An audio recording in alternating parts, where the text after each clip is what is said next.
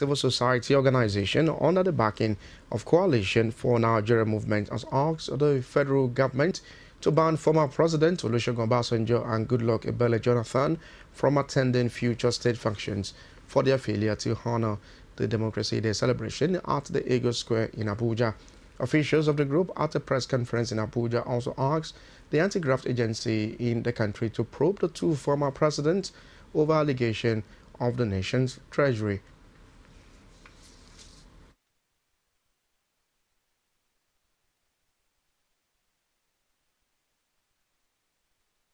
Nigerians should declare former President uh, Obasanjo and Goodluck Jonathan as personal non gratas and not accord either of them any respect either in public places as former presidents or elder statesmen. This stance shall persist